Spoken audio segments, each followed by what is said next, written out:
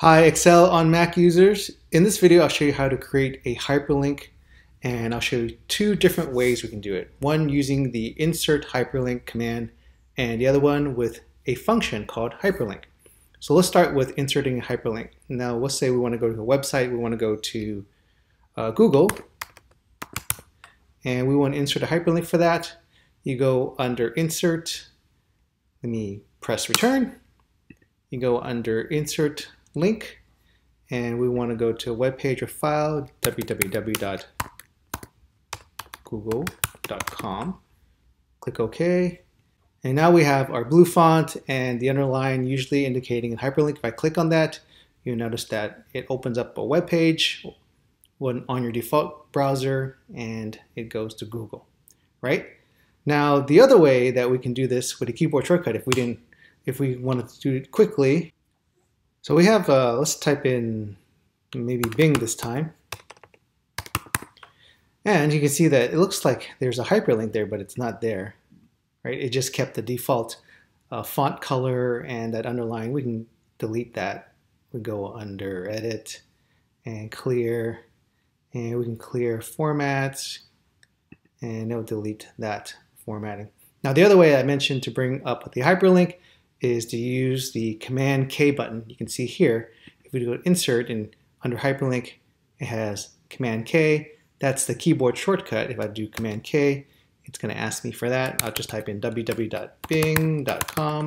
click OK, and if I click on Bing, it's going to open up the browser and go to Bing, right? So that's the way we can insert a hyperlink to a website.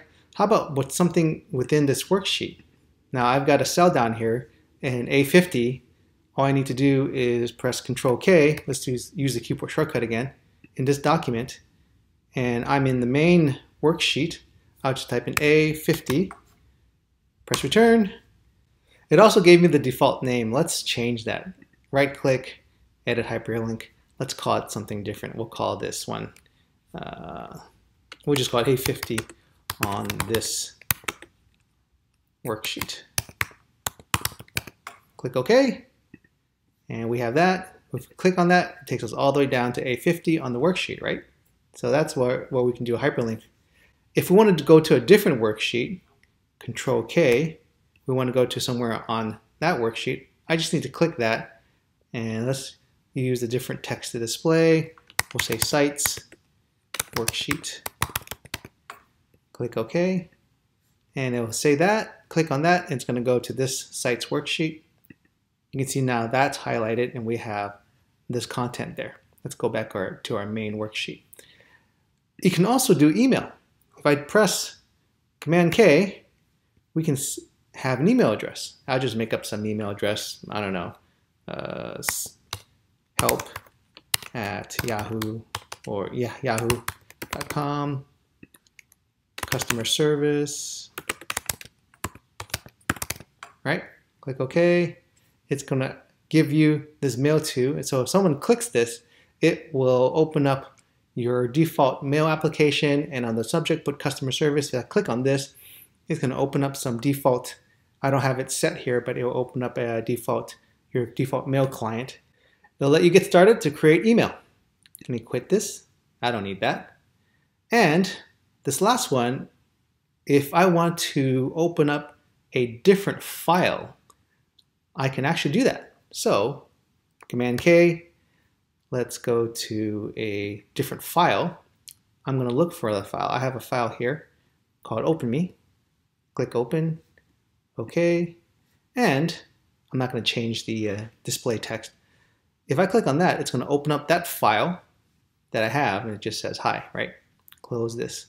Now, one thing about this is that if you have this particular file on a different location, you can see that if I bring up Finder, this file was, is in the same folder that I have my Mac hyperlink, this particular file that I'm showing.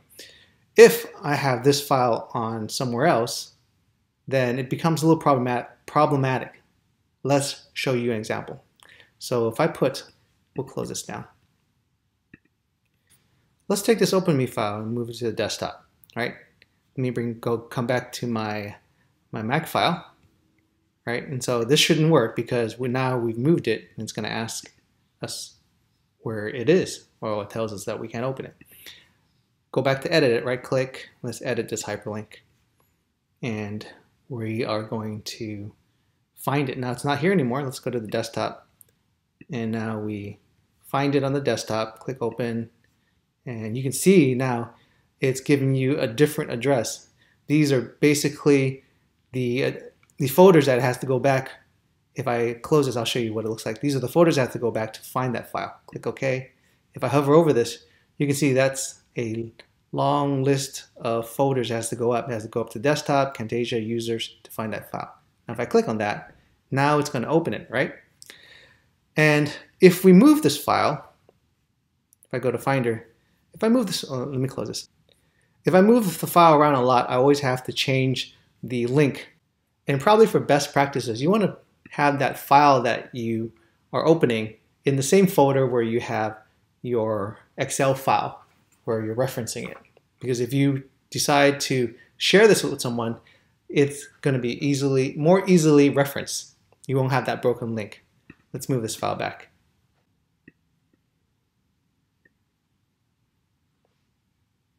And if I go back into my Excel folder or my Excel file, right click, edit, hyperlink, and select and change it back to reference the file within the folder. I see all those all those different uh, slashes and dots periods disappear. I click OK and I'm fine here. And you can see if I open this, it's going to open it fine. And let's say I close this. Let me close this, save it. And I decide to move my folder somewhere else. Oh, let's move it to the desktop. And now when I open my Mac hyperlink file, and I still open this, it should work because I moved my whole folder and that reference to that file is still within that folder and the links don't get broken. So that's one thing to pay attention to if you're referencing other files. Better to have it in the same folder. Now, let's see what we can do with the hyperlink function. So, so with hyperlink, all you need to do is type equal hyper and click on that. Oops, I don't know what C4. The link location. So for hyperlink, we're gonna have to type it in quotes. We'll have HTTP, HTTP colon slash slash and www.bing.com. Close quotes. Friendly name, what do we want to get our display name? We'll call it Bing. we also have to put that in quotes, Bing. And press enter, and you've got Bing. I click on that, it's going to open up bing.com on my browser. Let me close that. Now within the worksheet, what we need to do is a little bit more. So if I type hyperlink, whoops, hyperlink, double click that. And within the parentheses, open double quote, and I need to type in the file name, which is mac-hyperlink and I have to include the file extension, which is .xlsx. Oh, I forgot. I have to have to enclose this within brackets, so square brackets.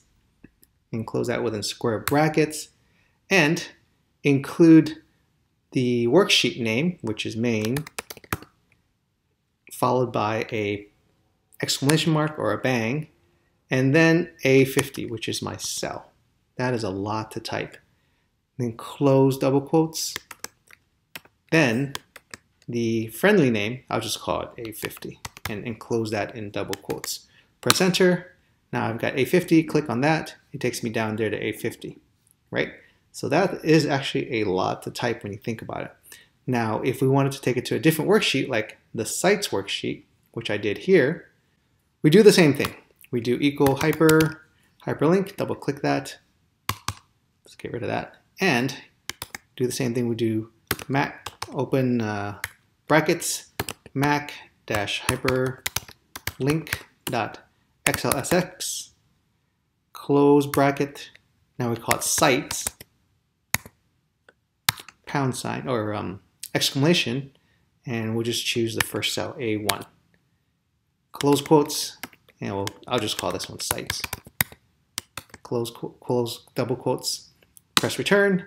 If I click on sites, it's going to take me to my sites worksheet there, right? Go back to main. Now, if we want to do email, we can also do that, hyperlink, press tab, I'll just to complete that. And here, we're going to use the mail to function, or the mail to text, colon, slash slash help at yahoo.com. And I'm not going to include the uh, subject customer service. I'll just do comma. And I'm not going to use the uh, subject text, comma, friendly name. I'll just call this Yahoo. In quotes, press return. We have Yahoo there. Click on that. It's going to open up the mail client. Quit. We don't need that. Now, I'm not even going to do this one with the file because when you think about doing it, now using the hyperlink function, if we wanted to hyperlink to a file, that probably would be kind of a nightmare because when you think about it, if I hover over this, that is the file that you would have to type in for the hyperlink function. It's just much easier using the insert hyperlink function rather than using the hyperlink function and typing all that in. So why would we want to use the hyperlink function? Well, let's go here. Let's have an example where we want to do that. If I had a bunch of names and URLs and I just kind of wanted to log to use this particular thing as a list or table, and I didn't want to keep on inserting the URL. I just wanted to kind of put it in there. I just wanted to type the URL, maybe and this one was, oh, you can see that Excel has automatically um, put that in there, and I didn't want to do that. Let's turn that off. If we go under Tools and we go under Autocorrect, we can actually turn off the uh, hyperlinks. Check that, X, and let's delete this, www.google.com. It thinks, you might think that you still have the hyperlink, but you don't, because if I click that, it doesn't go anywhere. It just keeps that blue font. Let's clear that. We'll go under Edit, Clear, and clear formats, right? So I'll do www.facebook.com and I can use the hyperlink function here equals hyperlink, click on that, delete that, and I have to put this in quotes, http colon slash slash, and now I'll close quotes here, and I'm going to concatenate that with cell B2, so it's going to have, it's going to add http colon slash slash with www.google.com. And now all I need to do is indicate the friendly name, which is Google here, close parentheses, press return, and I'll have Google. If I click on Google, it's going to take me to the Google site, right? I'll do the same. So now let's say, for example, I'm just going to replicate this all the way down, and then we'll pretend that this is just a bunch of different sites in the URLs. All I need to do is double click the fill handle or drag the fill handle down. I just drag the fill handle down and it copies everything, right? So I just go to Facebook here, it's gonna open up the Facebook site. And so that's one way that you can use the hyperlink function is if you're doing kind of something wholesale where you've got site and URL and you just wanted to kind of copy down the linkages, it takes you there. But otherwise, I would prefer just using the insert hyperlink function. If I go to insert hyperlink or just use control K to do that. So these are the two ways that you can insert hyperlinks within Excel on the Mac. So I hope that helps.